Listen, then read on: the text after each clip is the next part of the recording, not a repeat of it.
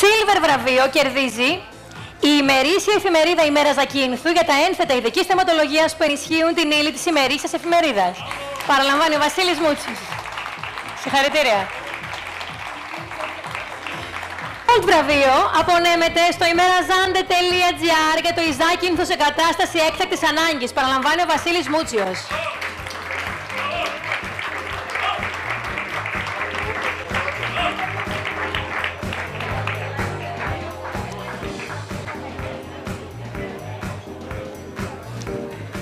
Καλησπέρα και από εμάς. Να ευχαριστήσουμε την Κριτική Επιτροπή για την ιδιαίτερη τιμή την οποία μας έκανε. Το βραβείο αυτό αγγίκει σε όλη την δημοσιογραφική και τεχνική ομάδα του imerazande.gr και υποσχόμαστε ότι με εγκυρότητα, με σότητα θα συνεχίσουμε να συμβάλλουμε σε αυτό που λέμε η ενημέρωση να μην σταματά ποτέ.